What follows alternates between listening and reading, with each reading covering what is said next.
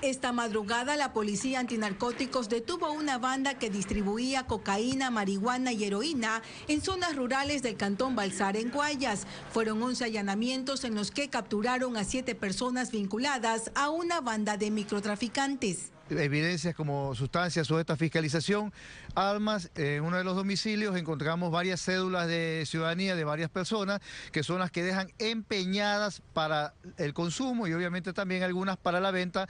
La agrupación operaba de la siguiente forma. El expendedor se colocaba cerca de los planteles educativos y enterraba los sobres con el alcaloide.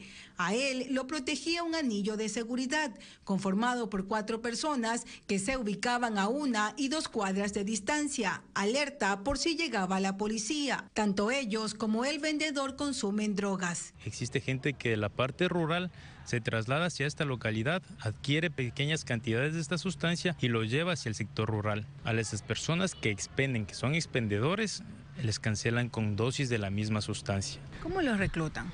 Los reclutan primeramente con la sustancia, haciéndoles que caigan en la adicción y posterior se vuelven adictos vendedores de la sustancia en los territorios. Las investigaciones duraron seis meses y según la policía, esta organización tenía la capacidad para distribuir al mes más de 320 mil dosis de droga. Entre los detenidos, según la policía, están el cabecilla, el transportista, el distribuidor, el vendedor y quienes daban seguridad. Además, parte de la banda estaba conformada por mujeres.